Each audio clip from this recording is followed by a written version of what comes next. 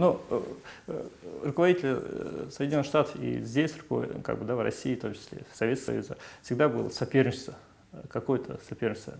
Например, во Второй мировой войне, когда они были союзниками, то есть мы были когда союзниками, тоже как бы чувствовалось какое-то напряжение, соперничество между товарищем Сталиным и как бы, президентом их, Рузвельтом, потом Эйзенхауэром тоже. То есть всегда это чувство. Но при Хрущеве, мне кажется, сложилось холодная война, вот эта тема пошла, да, в кавычках, можно сказать. И с тех пор, вот, э, кто не приходил э, к ним во власть, кто к нам не приходил, э, ну, оставалось какое-то напряжение. Но мне кажется, вот в 70-х годах вот, вот, дальновидность и стабильность с Леонида Ильича как-то вот так позволила стабильность, да, что вот какое-то понятие было. Также и в конце 90-х годах, когда Борис Николаевич здесь был президентом, а там Клинтон.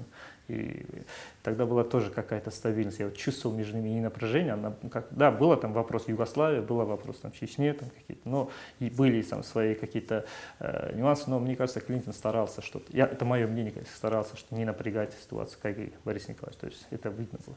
Но, конечно, как э, с роли Путина, конечно, он сильный лидер в своем как в сегменте, я так считаю, он останется по-любому в истории, как бы, не только в России, но и в мировой политике, геополитике. Вот. Э, и как бы в Америке тоже у Обамы свой, свой, своя роль. Да?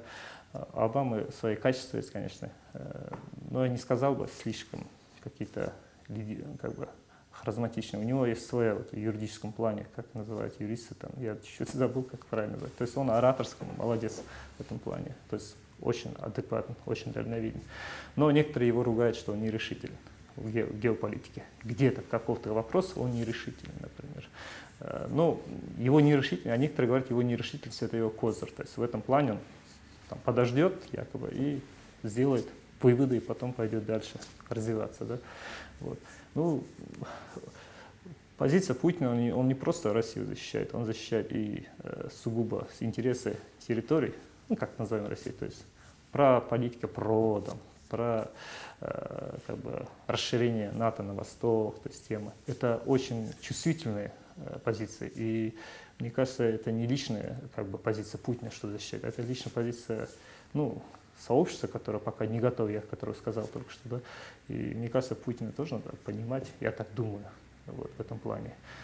А на самом деле он, его авторитет действительно искажаем. Также Юго-Восточной Азии, когда я пребываю, все говорят о нем.